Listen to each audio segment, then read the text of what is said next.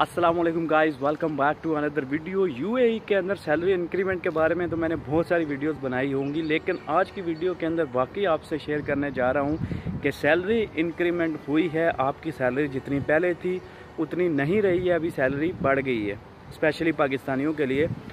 پاکستان میں جب میں آیا تھا، پاکستان سے آیا تھا 2015 کے اندر تب میں اگر گھر میں ون تھاؤزنڈ درم بیچتا تھا تو اس وقت میرے بنتے تھے ٹونٹی ایٹ تھاؤزنڈ پاکستانی بنتے تھے۔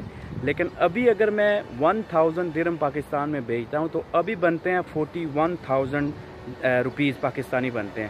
اس کا مطلب کتنے؟ تقریباً بارہ پندرہ ہزار روپیہ پاکستانی روپیز میں وہ بڑا ہے۔ تو یہ سیلری انکریمنٹ ہے۔ مذاق سے ہٹ کے یہ کافی افسوس کی بات ہے، کیونکہ اگر ہم اپنے ملک کے مفاد کی بات کریں تو یہ کافی زیادہ افسوس کی بات ہے۔ کیونکہ ہمارے روپے کی ویلیو اتنا روپیہ ہمارا ڈی ویلیو ہو چکا ہے۔ لیکن اس کے اندر جو ایک بات پائی جاتی ہے وہ یہ ہے کہ افسوس سب سے زیادہ اس بات کا ہوتا ہے کہ ہمارے پاکستانی اوپر سے حرکت بھی اس طرح کی کر رہے ہیں، کیونکہ جب روپیہ ڈاؤن ہوا ہے ڈالر کی قیمت اوپر گئی ہے، ابھی آج کا ڈالر ایک سو چرونجا ایک سو ففٹی فور روپیز کا ہے، ٹھیک ہے؟ تو ابھی پاکستانیوں نے کیا کیا؟ ہے ابھی پاکستانی زیادہ تر ڈالر خریدنا شروع ہو گئے ہیں کہ ہم جو ہے وہ ڈالر لے کے اپنے پاس رکھ لیتے ہیں اور بعد میں اس کو جب بیچیں گے تو ہمیں کافی زیادہ منافع ہوگا۔ مطلب منافع خوری اور ذخیرہ اندوزی کے زمرے میں آتا ہے۔ پاکستان میں تو اس حد تک لوگ جو ہے وہ گر جاتے ہیں۔ آپ نے دیکھا ہوگا پاکستان کے اندر، کے پی کے کے اندر ایک جو ہے وہ دکان تھی۔ انہوں نے نو ہزار کلو جو لیمن ہیں، وہ انہوں نے ذخیرہ اندوزی کر کے رکھے ہوئے تھے، جس کی وجہ سے رمضان کے اندر لیمو کا ریٹ پانچ سو، چھ سو روپے کلو تک گیا تھا۔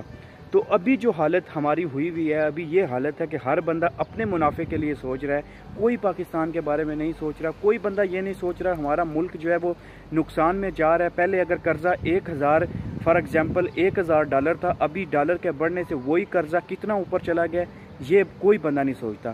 اگر ایک ہزار انہوں نے قرضہ دیا، پاکستان میں پہلے بنتا تھا اگر ایک لاکھ روپیہ، ابھی وہی قرضہ ایک لاکھ پچاس ہزار روپیہ جو ہے پاکستان کا قرضہ بڑھ گیا ہے ایک ہزار ڈالر کے پیچھے۔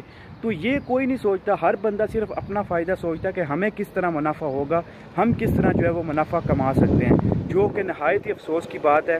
میں اپیل کرنا چاہتا ہوں پاکستانی کمیونٹی سے، پاکستانی لوگوں سے کہ پلیز یہ جو ذخیرہ اندوزی ہے، اس کو جو ہے وہ ترک کر دیجیے اس کو چھوڑ دیجیے کہ ہم جو ہے وہ روپے کو پیچھے چھوڑ کے ہم ڈالر لے کے اس کو ڈالر کو جو ہے وہ رکھیں گے تو ہمیں منافع ہوگا۔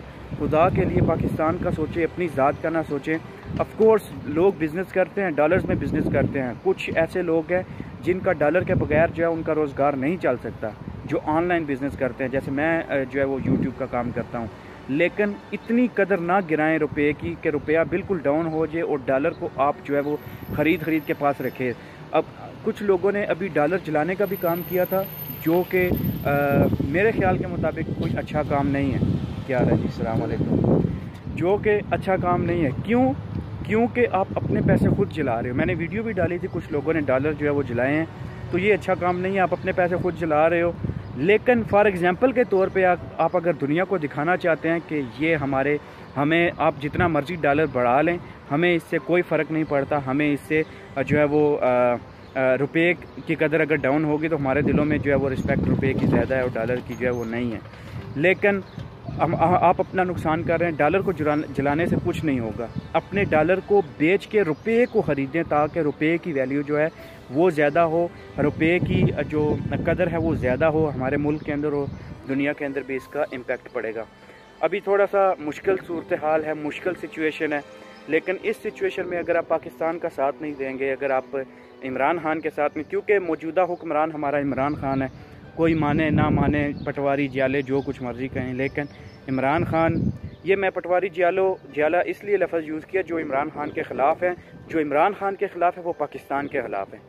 تو خدا کے لیے جو وقت کا حاکم ہے، اس کی عزت کریں اور ابھی جو مشکل سچویشن ہے، اس میں ساتھ دیں عمران خان کا، تاکہ ہماری اکانومی جو ہے، وہ اپنے لیول پہ آ جائے اسٹیبل ہو جائے، تاکہ یہ جو مسئلہ بنا ہوا ہے ڈالرز کا یہ بھی اپنا سارٹ آؤٹ ہو جائے۔ تو نیکسٹ ویڈیو تک کے لیے آپ سے اجازت چاہتے ہیں۔ گھر ہمارا آ گیا اللہ حافظ۔ Take care